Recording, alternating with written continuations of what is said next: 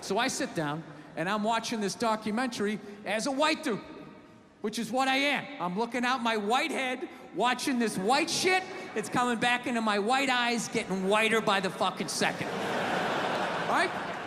Now, my wife, on the other hand, she's black, right? Now, I hate saying that because it makes it seem like I'm gonna start doing some stupid comparison jokes. You know, those dumb white guy, black guy jokes?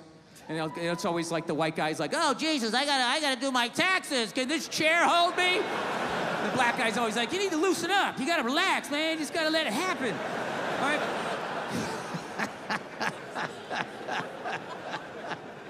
It's always the same stupid fucking joke. I hate those jokes, you know, because they're easy. And it's been my experience that it's just not true. You know, 15 years of being with her, there's really no difference, you know, because at the end of the day, it's a woman.